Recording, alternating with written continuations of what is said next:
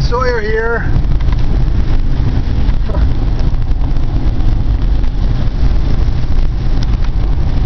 Um, what did Ti and Do say about atheism?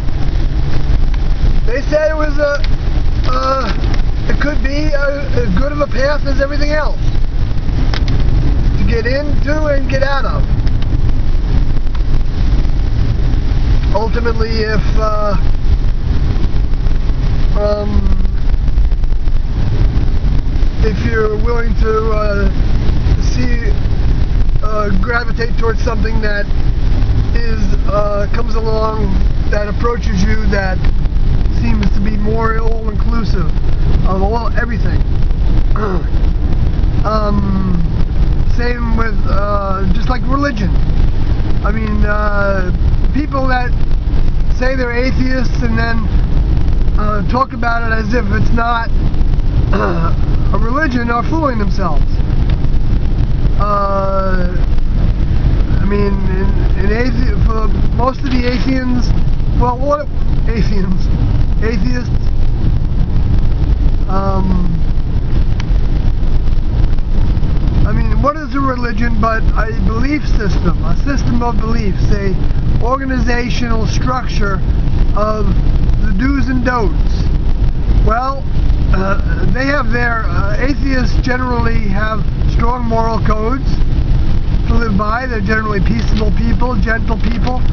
Uh, uh, they can be also, um, I know, I know many atheists that are environmentalists and anti-war activists and and uh, and a lot and some atheist groups basically like think atheism on the on the web. Uh, basically are trying to attract everybody that's not decided upon religion. And the confusion I think comes in with people thinking that when you believe in something then you're you basically decided that everything else was not right. Everything else was lesser. And so since they don't believe in, uh, since the, most atheists don't believe in uh, Christianity or any of the religions, um, Abrahamic religions, any of them, uh, that they think they're they're not believing in anything, or or they think that the belief in those the people that do believe in those uh, believe in them exclusively everything about them. A lot of people are born into into what they believe, even atheists, and and don't believe what they listen to and what they're willing not to listen to, what they make reasons for and have justifications for, and what they don't have justifications for. The human kingdom is filled with this kind of behavior because none of them have it 100% right until older members come from the level above human and bring it. And the crew comes and brings what is more real. that they do a period they do periodically. And uh, and the advantage of delving into religions, all of them per se, you know, and uh, becoming an atheist going then going back to believing in spirits or paranormal or becoming a pagan or a, or you know a, Hindu or a Hare Krishna or a, uh, a, a Raelian or a, you know where you put you, you put uh, space aliens in the mix. The advantage is that you get a little bit of everything, a taste, and then when the real thing comes along, uh, if you're if you're actually uh, composed of uh, a thirsty a mind, then you have to take a look and see, even though uh, all those other groups, all those other groups will, to a degree, be against what when the next level comes with their real information, will be against it in some fashion because of what they do or or how they appear to society, you know, Uh, like, for instance, if they're not like uh, acting like Mother Teresa, then they can't be from Jesus. That's one of the misconceptions. Like Jesus was entirely for uh, taking care of the sick and the ill. Uh, sick and the ill, that's the same thing. But, uh, and the, uh, so, so what I'm what I'm saying that I believe Ti and Do were saying is that atheism, just like Christianity, just like everything, is a, is a stepping stone. It's a path. Like Ti and Do always said that uh, it's not in the human kingdom. It's not what you get into. It's what you get out of. Okay.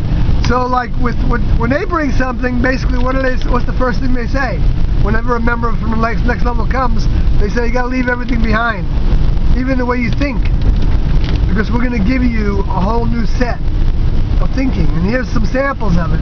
And, the first things they say at the meetings, they gave out a statement that were samples of the new thinking. And with that new thinking, there's going to be new terminology. So everybody else that is counting on the old terminology and the old way of thinking and believing in it and insisting upon that's the way it is, uh, they're all going to, especially the ones that are making money off of it, they're all going to oppose this uh, new cult. It always has to be a cult, you know, or the equivalent of a cult. Something that society is looking down on, the authorities are looking down on, or fearful of. Uh, and uh, so, so fine.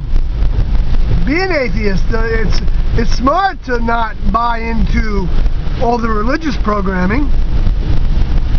But then if you accept that, you know, uh, I was going to call this show where they were talking about atheism on WRPI because uh, they've got some students there at the, the technical college that uh, do the radio show because they have a radio station there.